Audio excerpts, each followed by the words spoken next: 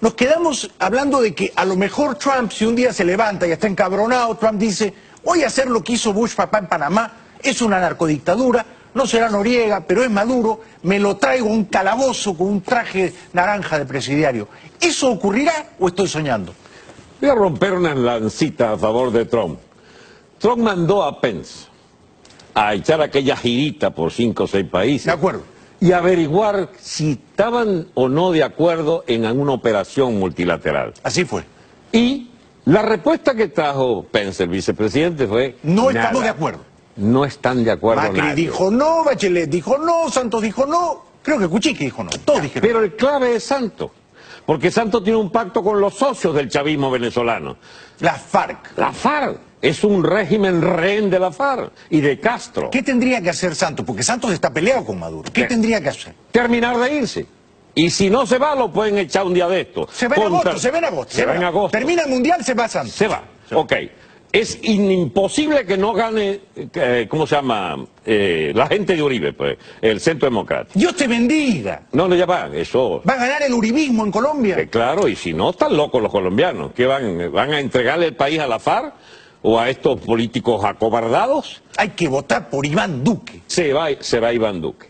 Este, mira, al resolverse la incógnita de Colombia, si es que Maduro llega ya, porque son cinco o seis largos meses, Sí. entonces la solución de la cuestión venezolana es la solución interna para Colombia. La gente entiende poco a veces de geopolítica, pero los contagios existen. A ver, explícanos, Si explícanos. estalla el Estado venezolano y se genera un proceso de emergencia, este núcleo de, de Pérez, ¿tú sabes la influencia que tiene?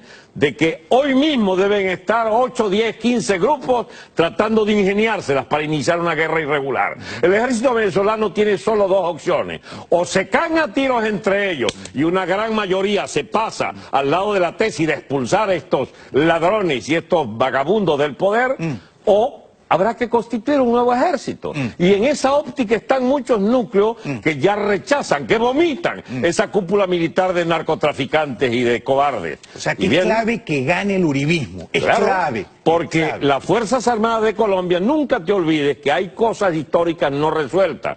Bolívar se va a Colombia, ganan la independencia de Colombia y con los colombianos va y libran la independencia de Venezuela. Así. Eso es históricamente mostrado. Interesa es el apoyo logístico de Estados Unidos. Sí. Eh, lo necesitamos, necesitamos el amague, nada más con el amague de la Fuerza Armada de Colombia. Son 600 mil hombres, chicos, disciplinados. En 24 horas podían llegar a Caracas si se lo propusieran. Pero no necesitan eso, necesitan Empujar decir, un poco, empujar un poco. empujar un poco, y estalla, un poco, estalla claro. esa, esa falsa unidad de la cúpula militar venezolana. Por-. Pero la solidaridad, elemen- la solidaridad elemental de dos élites, Sí. la nuestra diezmada y en bancarrota, Sí, sí. y la colombiana que aún tiene fuerza y lucidez para imaginarse, revertir esta estupidez que ha hecho Santos todos estos años, puede permitirnos pensar que Colombia, está- eso fue, yo se lo dije a varios, a varios de la élite colombiana hace cuatro años.